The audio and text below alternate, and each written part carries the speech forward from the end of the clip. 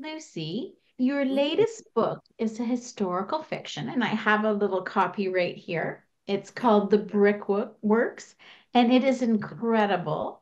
Can you tell us about it? Absolutely, thank you. Um, it's a historical fiction, and uh, it covers the period 1879 to 1910. And it starts in Scotland with the fall of the Tay Bridge. And the Tay Bridge at the time was the longest bridge in the world, and it was considered a marvel of Victorian engineering. And when the bridge fell, um, the ramifications for that um, were felt across the world.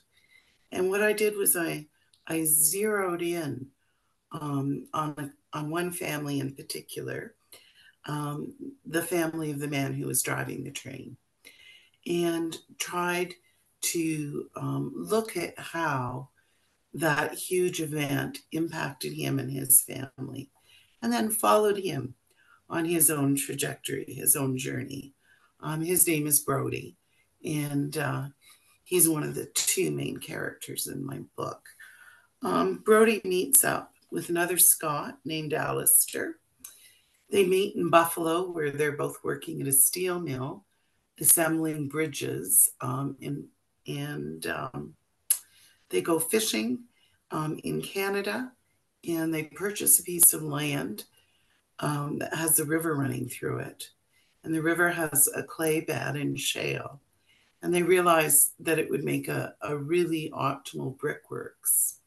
So they buy the land and they get financial backing and they establish a brickworks in this small community. And the novel traces um, their adventure, if you will, um, both in terms of learning the technology and establishing this manufacturing business in a small rural community, but also the impact of technology. I mean, there's always a cost when there's innovation.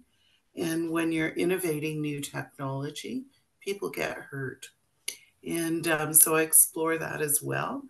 And then there's two sweet little romances um, for both of the main characters. So um, I hope it's charming. Um, I hope it's informative. And um, it sort of um, captures my interest in brick making. And that's where it started.